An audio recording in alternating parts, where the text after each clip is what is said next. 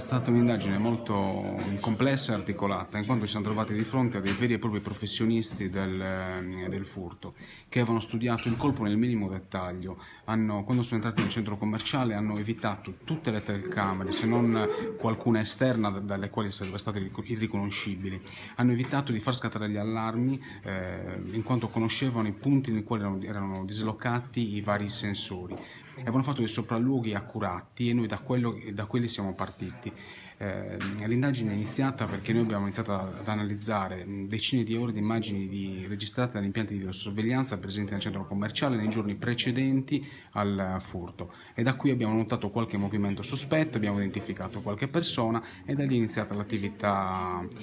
te tecnica che ci ha consentito appunto di risalire agli odierni arrestati e al riciclatore del, eh, del denaro.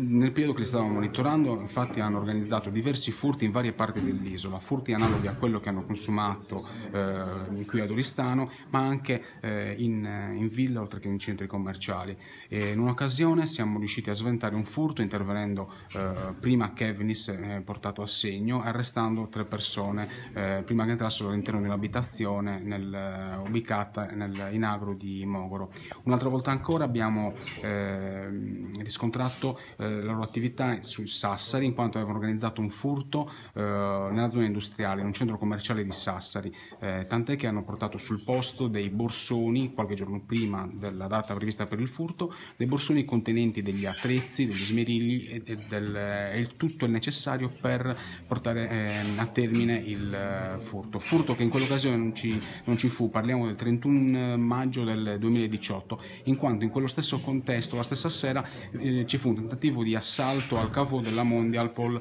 di Sassari. Lì il successivo intervento in forze di polizia e carabinieri ha fatto desistere il gruppo, la banda, dal, dal mettere a segno questo ulteriore furto.